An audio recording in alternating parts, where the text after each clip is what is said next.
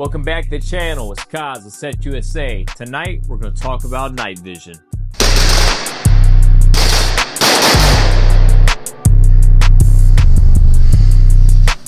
But first, let's give a quick shout out to Nocturn Industries for hooking us up with this UA NVM Tanto.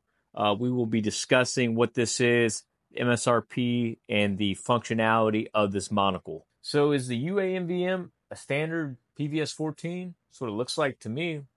The answer is no.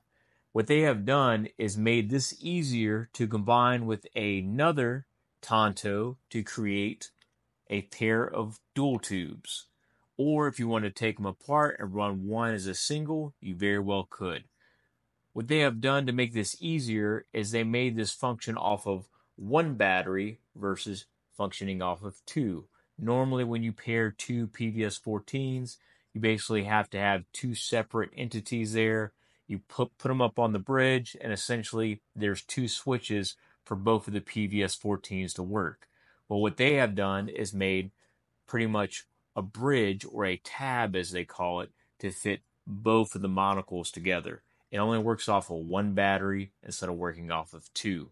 Um, it's also a lot more lightweight, guys. I mean, the PVS 14s can be really, really heavy, especially the mil spec ones.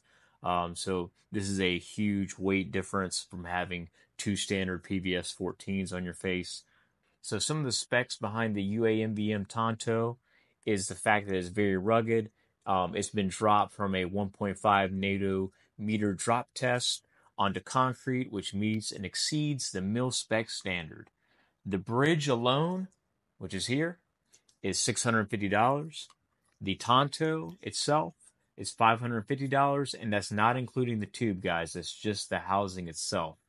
Um, now, they can build these um, to whatever spec that you like with whatever tubes that you like. You can you can do you do 1400 FOM tubes all the way up to you know 2200 if not more if you can find those uh, but again guys they can build them out to your specs to what you desire to what you want in your night vision tubes.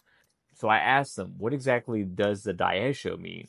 And the daisho is basically comes from the japanese ancient weapon systems like the katana or the tanto so when they bridge two tantos together the daisho um, was kind of like a reference and it symbolizes the balance between the two weapon systems, I guess. I'm not a Japanese culturalist. Uh, I don't, you know, I didn't do my research on it, so so God forbid me on that. But again, guys, if you like these type of reviews, if you want me to review more gear stuff, um, just let me know. Like, subscribe, comment.